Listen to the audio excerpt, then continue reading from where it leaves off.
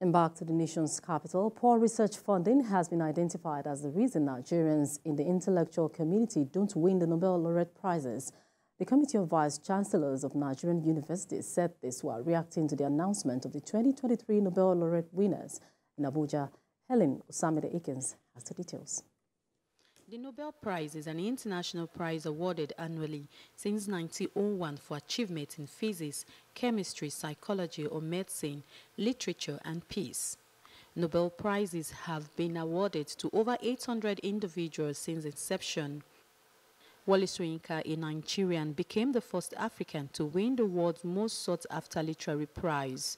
Since then, no Nigerian has attained that feat, and this the Secretary General of the Committee of Vice Chancellors ascribed to poor research funding. The benchmark is at least 1% of your GDP should be set aside for research and innovation.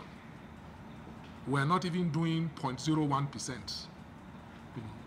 So that translates. So if you don't have the facilities to do the type of cutting edge research over a sustained period of time to compete with researchers from other parts of the world, you know, and make the type of significant breakthroughs that qualify you for a Nobel Prize nomination, not to talk of winning, you now see why Nigerians and Africans hardly feature when the list of Nobel Prizes is released. Committee of Vice Chancellors of Nigerian Universities comprises of Vice Chancellors of federal, state and private universities in Nigeria. They oversee the day-to-day -day activities of the institutions and maintain good relations with the principal officers and the various organs of the universities. It is set to commemorate its 60th and 61st year of existence with several activities on the 9th of October. It's a three-in-one celebration uh, three in one in the sense that we are going to celebrate our Diamond Jubilee, which actually was supposed to have been celebrated last year when we actually turned 60.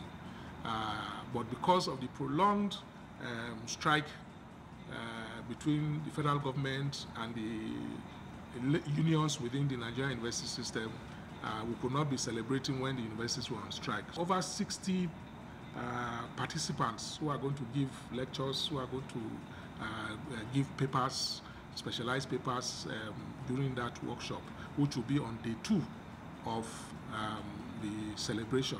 The event will have dignitaries like academics in attendance. Helen Osamide Akins, TVC News, Abuja.